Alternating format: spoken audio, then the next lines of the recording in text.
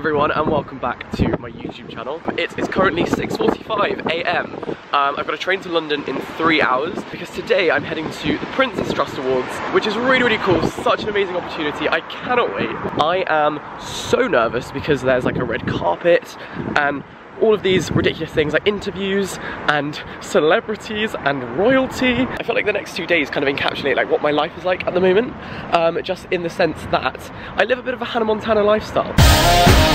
So today I'm going to the Prince's Trust Awards. It's going to be super glamorous. It's going to be red carpets and all of these silly things. And then tomorrow is just a library day. So I'm starting off the day by heading to the gym.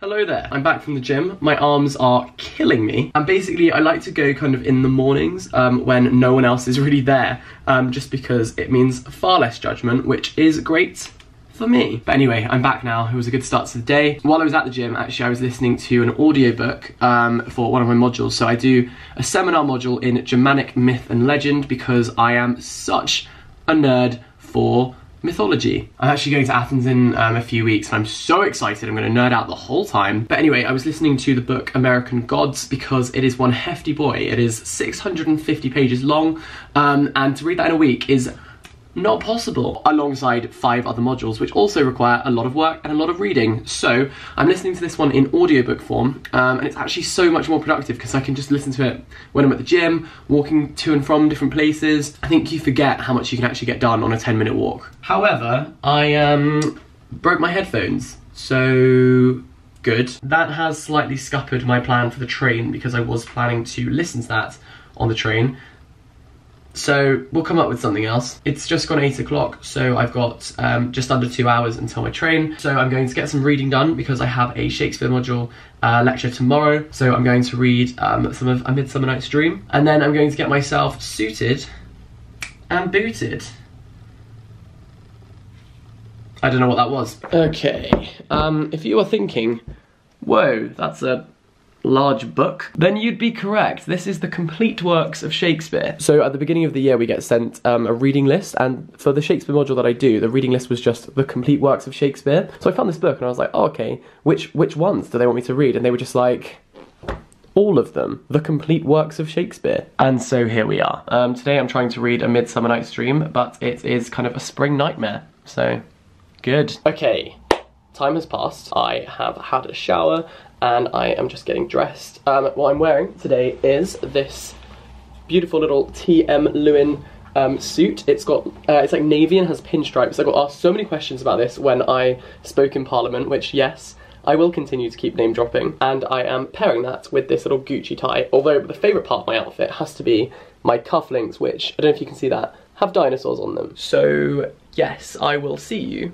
on the train. Good morning and welcome to passengers joining this delayed service at Durham. Okay, so I'm on the train. Um, I was expected to get to London at 12.30. We're now not getting there till 1.30, so I'm actually going to miss the red carpet, which is so heartbreaking. I don't actually know if I'm going to make it to the awards itself because it's just getting more and more delayed. It's because of this huge... Whoa. It's because of this huge storm, so it's like not the train line's fault at all. I don't blame them. Um, it's just such a shame. Um, I'm gutted, I'm really, really gutted. And I'm just on this train that's going down to London. I'm getting further and further away from home. But I'm gonna miss the awards, I think. So um, I don't think there's much more to say other than I'll keep you updated. Potentially the next time you see me, I will be on a train back to Durham because I think I'm going to miss the awards, which is such a shame. So that's the update. Okay, so I've made it to King's Cross.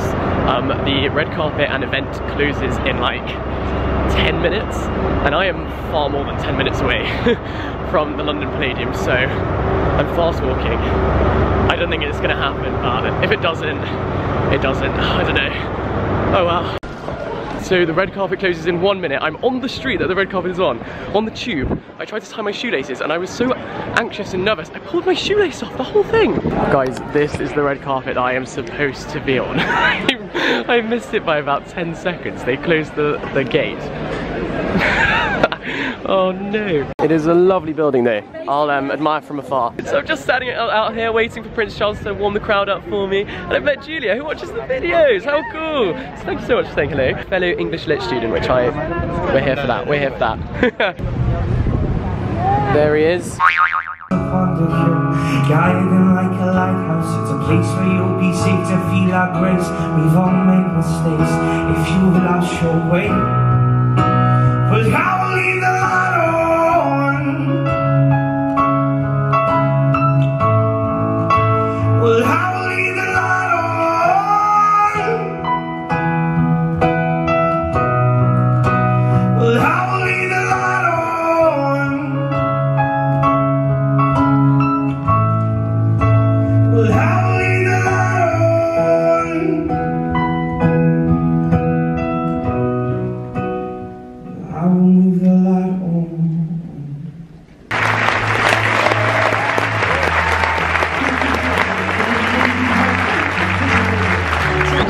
may have missed the red carpet on the way in, but the red carpet is, the carpet is still red, and I'm making the most of it. Look who I flipping found, it's only Unjaded Jade. Um, yeah, the awards show was incredible, so many inspiring people. It was like constantly heartwarming, like all the stories. Yeah. Just amazing. So thank you so much to the Prince's Trust for inviting us. Very, very cool. Thank you. Thank you. And look where we are right now. Right. That's the red carpet. yeah, we're just we look. We both missed the red carpet on our way in. We didn't smash it, but we're here now. We're making the most of it. we're having our little Oscars moment. Okay, that's all. That's all I had to say. Guys, we're not at uni anymore. Cheers, mate. so we went to an after party at a place just next to the Palladium, and now we've come to my management's office um, to quickly pick up some stuff. So um, I don't know if you saw the video, but I worked with Adobe on a really cool uh, vlog a couple of weeks ago, and they've sent me some biscuits. How nice! I've just come to the office to pick them up, but look. So there's a little thank you card in here, and also these. If I can open this, look how incredible these are. Live reaction. They're so cool. Are they like edible? yes. What? How insane! Like customized biscuits. Whoa. I want to just carry these around with me as an accessory. Okay, after more running for trains, I've made it back to King's Cross, and my train leaves in now. I think. I think I've got about one minute to get on, um, and I'm heading back to Durham. Oh hey, I am knackered. Um, today's been such a cool day. Um, I just got the train home and then went straight to um, my college bar in Durham um, because my lovely friend Laura is back visiting from Spain. She's on um, a year abroad, so it was so nice to see her. And she got me this little postcard, which was really nice. But I have a delivery, which I never ever thought would come. Holy guacamole! This is my silver play button because I hit 100,000 subscribers. Oh my god. I want to say this is a dream come true, but I, I feel like I'm accepting my Oscar, by the way. I feel like it's not even a dream come true because I just never even dared to dream about it. Like, that sounds really stupid and dramatic, but like this means the absolute world to me because it's something I never ever thought would happen. So, oh my god. Okay, um, I'm gonna put you there. This feels like a pizza delivery, except like the most exciting pizza delivery of all time. Oh my god. A black sheet. wow. There's a letter from YouTube. Imagine if I dropped it now. That would be very on brand, to be fair. Oh my god. Okay, so for something that's meant to be given to YouTubers, this is very hard to film. My silver play button, 100,000 subscribers. What the heck? Here she is in all her glory. This is so mad. Okay, so I'm just gonna go and cuddle this for a little bit. Um, but thanks for watching today, and I will see you in the morning. Good morning, good morning. So um, I went to the gym a little bit later this morning. It was a struggle to get out of bed, let me tell you. I think I left the house at like seven, quarter past seven. So it's still early, but it was it was definitely more of a struggle than yesterday. It's very windy again today. Um, I'm heading home now. I was gonna go straight to the library. My hood. And normally what I like to do is just go to the gym and then go straight to the Students' Union or the library on Thursdays because I have lectures starting from 11.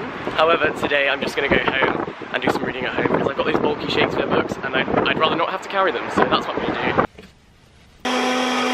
I've made myself a little avo toast and managed to get my camera completely covered in avocado in the process. The Canon logo is now green, but this is my favourite thing, so That's what I had to say. Okay, so I feel like I haven't really explained what's going on today, so um, allow me to do that. Today is a completely average, ordinary day in my life, very different to yesterday. And I kind of wanted to capture that with this video and how different like my days are. Today is a very like academic day. So this morning I am going to do some Shakespeare reading. I'm going to finish Midsummer Night's Dream. I was planning to do that yesterday, but I think you have to know your own limits. And for me, it would have been more valuable to just sleep last night um, because I was so shattered. I would not have taken it in. So I just left it till this morning to do. So yeah, I'm just gonna finish that off now. I've got one more act to read, then do some research on Hart Crane and Sylvia Plath because I have a tutorial at 4pm today on those. In the meantime, before that, I have um, a lecture at 11 on Shakespeare and then a lecture at 12 on American poetry. Nope, those are the other way around. If only one of us knew what was going on. Um, yeah, anyway, so I've got two lectures. Um, I've got about two hours now until those, so I'm gonna do my reading and research. Yeah, that's kind of how my day looks. Um, I'm gonna do some reading now. Cue study montage, I guess.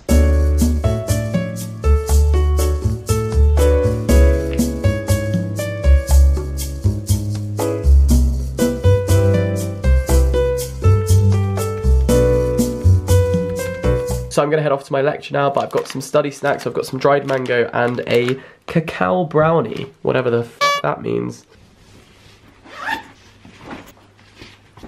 Let's go. But I think there's also a bigger ambivalence to the approach. Um, we've got Penelope.